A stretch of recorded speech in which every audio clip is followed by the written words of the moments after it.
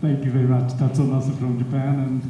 And uh, Mr. President, I'm very happy to see your small restaurants are now, you know, making Japanese small more popular. Yeah. And Yeah. I feel very, very safe with your people because we look the same and we think the same way. But one, one request to you.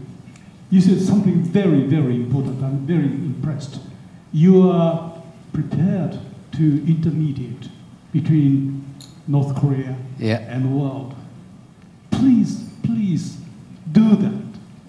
I beg you because there is no one who have openly said that to my knowledge. So I count on you very much and I, hope you to make the world a better place to live in. Thank you. You know, when I meet with the,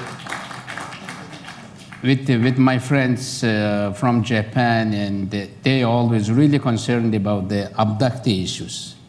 There are also some Japanese abducted in North Korea, and I was only president uh, visiting the Shinzo Abe's home and uh, sitting uh, there and talking about these things. And uh, Prime Minister Abe is very close, and during my presidency, Prime Minister Abe visited three times Mongolia. That is how significant our country's relations, and also we have EPA, Economic Partnership Agreement, Free Trade Agreement between Mongolia and Japan.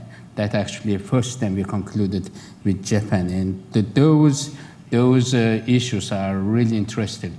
Also, I have I, I, I usually talk when, when when I talk about Japan Mongolian relations. It's very historical, early time relations. One time, Kublai Khan tried to invade Japan. he had a, during, during that time he had the biggest navy.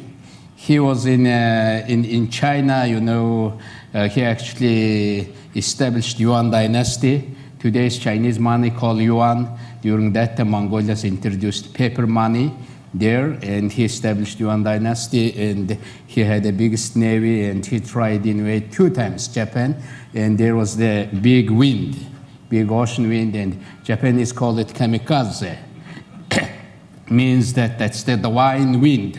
We call it bad weather. You know.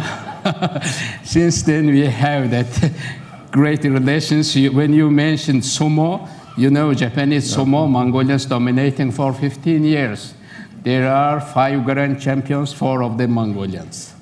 And uh, means that uh, also many people ask during my presence here, what time is good time to go to Mongolia?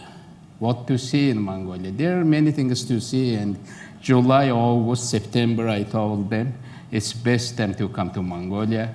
And uh, I think uh, I'm, I'm really inviting you, and uh, I'm, I'm uh, making very good connections with you, and please come to Mongolia. And uh, Japan, uh, North Korean issue, yeah, in a, in a hotline, we exchange our really important information with Japan, with Japanese foreign ministry. We have our people there. We have our insights there. We have really unique perspective and unique insights.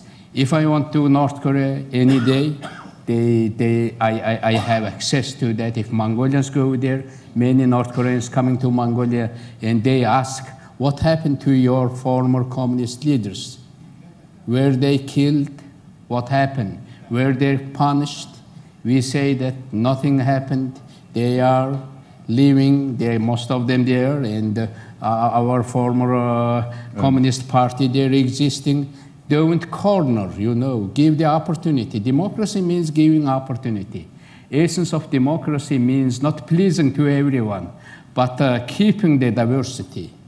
Diversity is the source, you know, keeping uh, to be different, keeping that right to be different. That's the essence of democracy. But in, in Mongolia, if you go, uh, many people uh, not happy with the, today's political establishment, but pe- people are really happy that we have that diverse voices in Mongolia and very burgeoning um, that social media and freedom of expression and keeping that in our part of world is really crucial. From that, many people are learning. Monsieur Chetrit. Uh, I'm going because we have two minutes left, and we, will, uh, we unfortunately we have to uh, uh, to end on time. So, short And uh, Hervé Mariton, short, and you uh, answer Thank both you. of them. Yeah. Uh, I'm Meir Shitrit from Israel. I wonder what is the subject that worried today Mongolia? With what you are fighting, what you stand against? Hervé, Yeah. Sit. Uh, Mr. President, what about southern Mongolia? Is it a non-issue? Uh, cousins you like to talk about are. Uh, You mean your- inner Mongolia? Yes. Oh, okay. so, and unfortunately, that's Yeah. all. What worries today Mongolia and my government, and I think uh, uh, you, you mentioned economy, economic issue. And Mongolian economy is not a diverse economy, and we need to make our economy more diverse and more productive. That's the main issue now in, uh, in, in, Mongolia. We have, with, we actually concluded agreement with I, IMF and others, and we are working very closely. Uh, other issue, of course, more exposure to the world, more relevance to the world, aiding the more weight, Mongolian weight in, in the world stage.